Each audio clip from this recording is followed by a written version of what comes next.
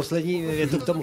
Já si odnáším to, že pravda prostě uh, uh, trvat na tom, jestli něco je pravda nebo není, je potřeba vždycky k tomu dát dovětek. Z hlediska mých informací no. uh, toto považuji za pravdu a může existovat ano. někdo jiný, kdo má jiné informace a ten Což jistě tak bude, 8 miliard lidí. Budete... Bude celkem jisté, že vždycky někdo bude mít jiné informace, jiné poznatky. A ta pravda spočívá v tom, třeba si to představte takhle. V tuhle chvíli existují nějaké definice pravdy, je jich na planetě hodně, my je všechny neznáme, třeba kvantovou fyziku, neznáme všechny pravdy kvantové fyziky, asi to neumíme tady teďka všichni vymenovat. Poslední objevy nanotechnologií, poslední objevy mikrobiologie, to všechno tady existuje, tyto pravdy tu jsou. Nějací vědci by ty pravdy jistě dokázali vyslovit. A přestože my je neznáme, tak jsme naživu.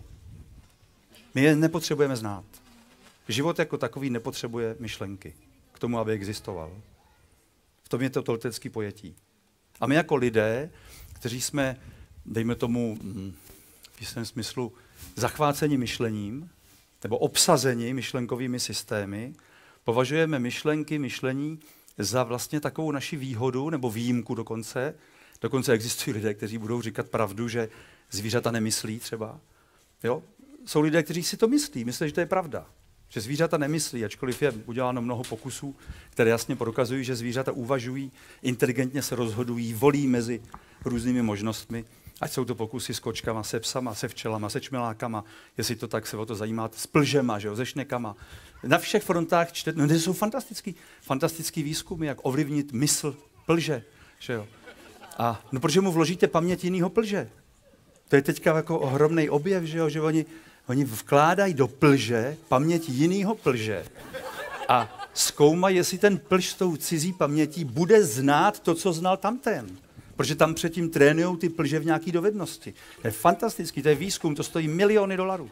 To je, to by bylo plži, lepší mě, naučit číst. Ne, mě to jako... tak nadchlo, ti plži. Teď, když jsem o tom četl, o tom výzkumu plžů, tak jsme si s klukama řekli, že o tom napíšeme filmový scénář, protože výzkum plžů, jejich paměti, jejich emocionálního prožívání a přenášení vzpomínek z jednoho plže do druhého, no to tedy, to je jako by něco, to je opravdu famozní. Oni do těch plžů píchali injekci a pak jim dávali elektrické šoky a pak zkoumali, jestli ten plž, který tohle nezažil a do něj vložej tu paměť z tamtoho plže, jestli se bude bát toho píchnutí.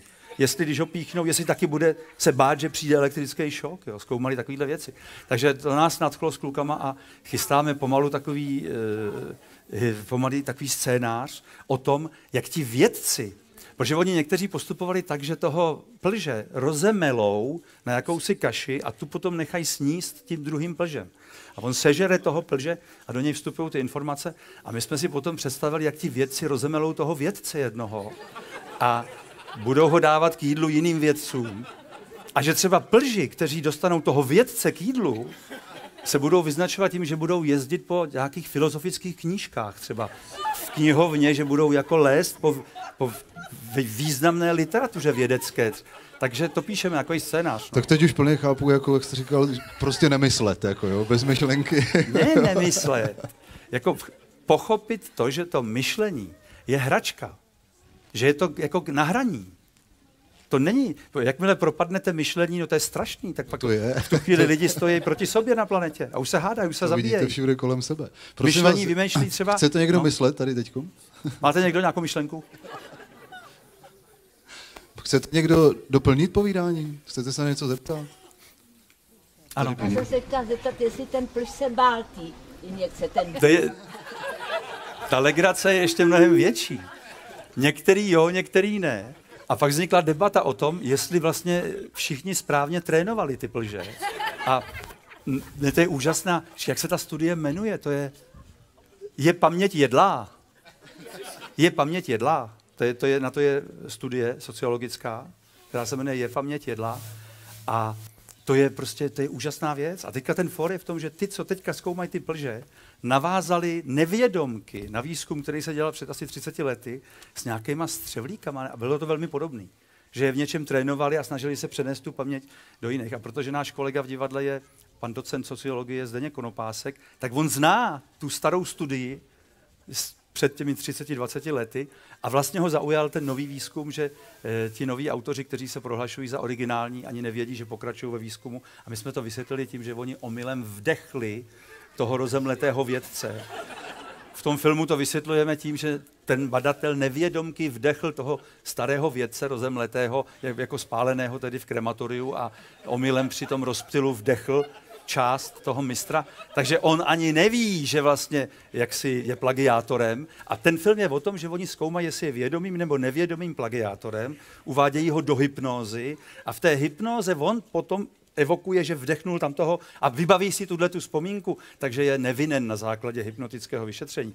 No prostě bude to takový jako náročný film, zejména proto, že některé scény budou dělány a ty záběry budou v rychlosti těch plžů. Jako, jo.